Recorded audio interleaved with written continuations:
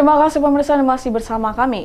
Dalam rangka pengawasan jelang pembentukan pengawas TPS pada pemilihan umum 2019, baik pemilihan umum legislatif dan pemilihan umum presiden, Bawaslu Provinsi Sumatera Selatan melakukan supervisi di sejumlah panwascam di Kabupaten Musirawas menjelang pembentukan pengawasan TPS pada pemilu umum pemilihan legislatif dan pemilihan presiden 2019, Bawaslu Provinsi Sumatera Selatan melakukan supervisi dan monitoring di sejumlah panwascam di Kabupaten Musirawas, Kabupaten Musirawas Utara dan Kota Lubuk Linggau. Salah satunya di Sekretariatan Panwascam Kecamatan Tugumulyo, Kabupaten Musirawas. Dalam kunjungan kali ini Bawaslu Provinsi Sumatera Selatan yang didampingi dengan Bawaslu Kabupaten Musirawas, supervisi kali ini untuk mencegah tidak adanya pendaftar pengawas TPS di berbagai desa di Kecamatan Tugumulyo.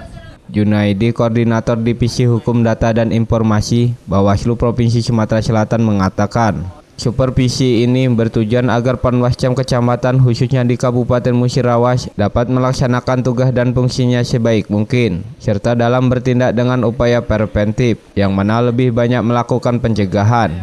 Ini melakukan supervisi dan monitoring terkait pembentukan pengawas TPS di beberapa kecamatan di Musirawas. Sengaja kita kunjungi kemarin di Muratara. Alhamdulillah sempat dapat lima kecamatan kita kunjungi. Kemudian tadi pagi di Lubulingkau tiga kecamatan. Hari ini baru pertama di Musyawarah Kecamatan Tugu Insya Allah dua tiga kecamatan lagi yang kita dan kita ini memastikan bahwa Panwasca melakukan tugas dengan sempurna sebagaimana tupoksi yang ada.